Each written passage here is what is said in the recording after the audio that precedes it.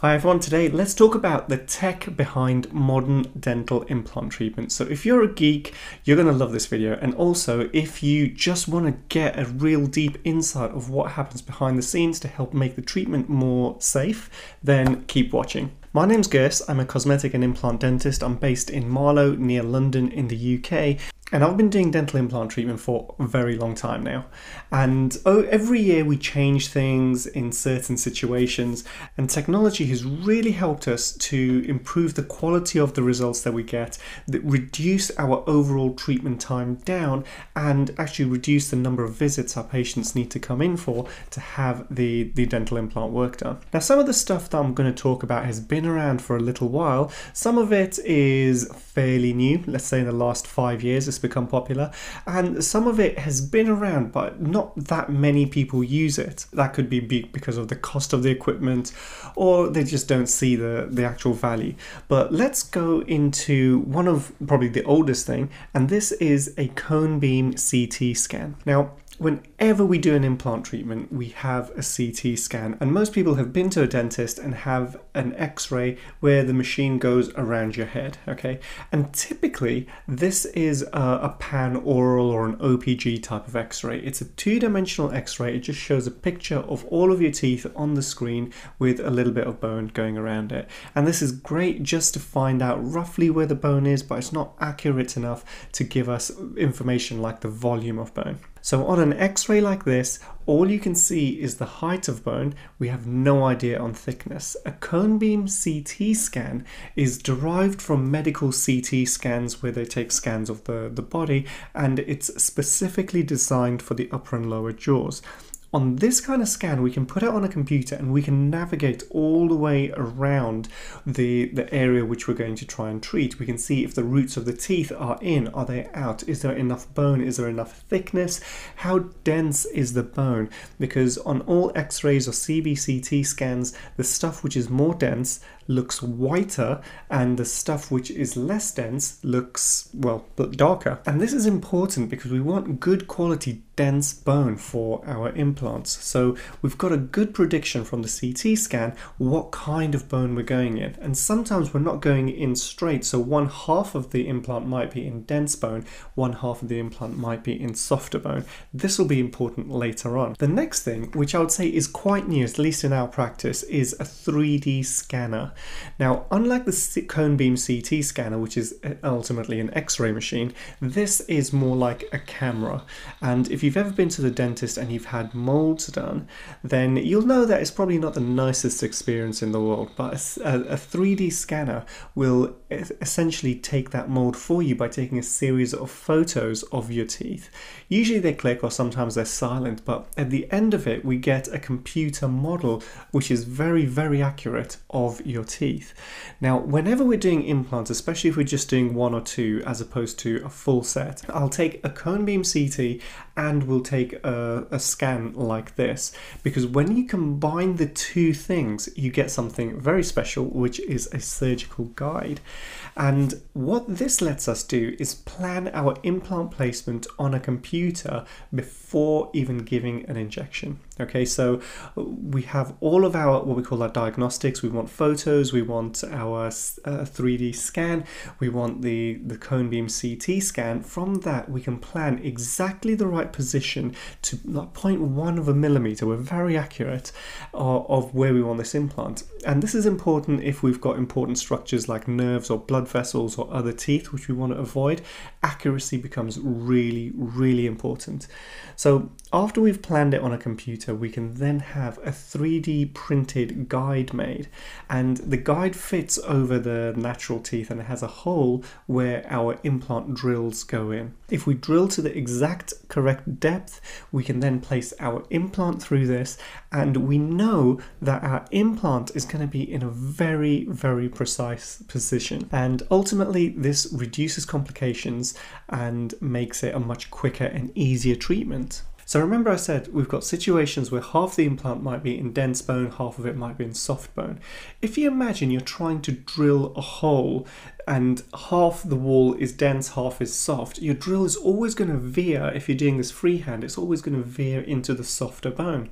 And this is going to ultimately mean a hole is in the wrong position and the implant would be in the wrong position as well. Now, with fully guided surgery, you you just cannot do this because the guide will always hold the drill in exactly the right position, helping with our accuracy. Now, if we look at the dental implant itself, even this has come a long way since its first. Um, since its first inception, which was many, many years ago. And in general, we use titanium because we know that titanium allows the bone to grow very close to it without causing an immune reaction. Now, there are other materials, for example, there's pure ceramic implants, but I've never used them. Although I know a little bit about them, I might make a video to show you the pros and cons. But even this technology is coming on quite well, and this could potentially be the future of dental implant treatment. But we're going to go with something safe, which we know has worked for years and years, and that is a standard Type 4 titanium implant. Now, the surface of this implant could be smooth or it could be roughened. If we roughen the surface, it lets more surface area, it lets the bone attach to more surface area, which is a very good thing long term. Now, some implants have half and half. They have a rough surface which goes in the bone, and they have a smooth surface which comes out of the gum. So, these are really great implants for those people who are suffering more with gum disease, and one kind of implant is inappropriate. So, this can get us out of trouble. Now, some implants don't come dry, they come in a liquid cylinder, and these implants typically have a special coating on the surface which allows the blood cells to adhere to them much more quickly. And this in- increases the speed of the healing around the implant, and it means that we can load, i.e., put a tooth on top of the implant in much less time. Now, I routinely use these implants, and the manufacturers do say you can put a tooth on after one month. I don't really trust it, but after about two months, I'm much more comfortable putting a, a, tooth on top of these implants.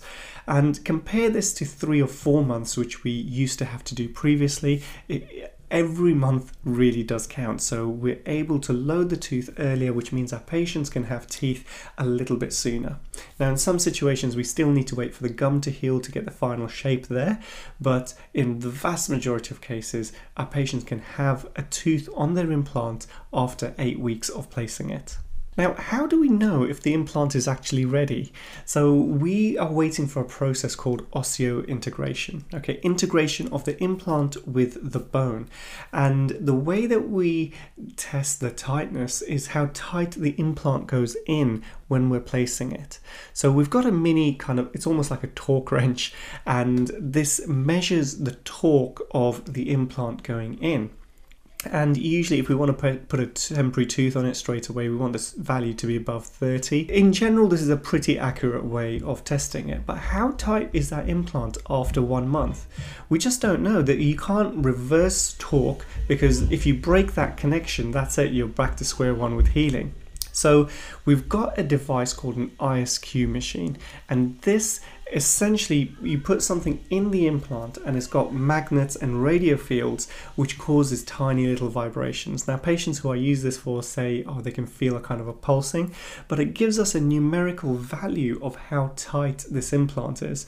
And that's really really useful for those situations where we're really short on time and we're not sure has has enough healing actually happened?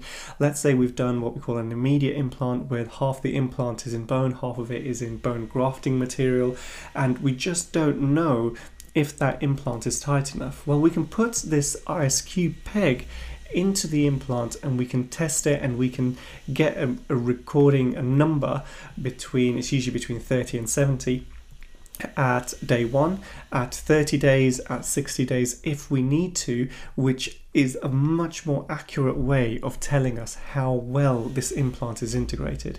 And in very few cases, two in the last five years, there's two patients in the last five years where we've got a feeling that an implant is becoming looser and looser for no apparent reason.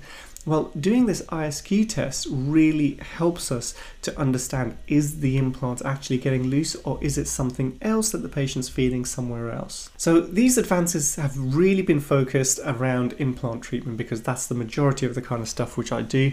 Normal dentistry, again, is evolving and one day we'll be able to, to generate teeth from stem cells, but this has been a dream for a long time. Remember, advances in medicine happen very slowly. Now, I mentioned guided surgery earlier, and this is one of the big things which I've uh, I've embraced over the last couple of years. But there is an, an additional advancement on this, so it's possible to do live guided surgery. Okay, and our colleagues in, in medicine and surgery, uh, my friend's a spinal surgeon, he uses this all the time. So it's something which is taken from there and it's been moved into dentistry.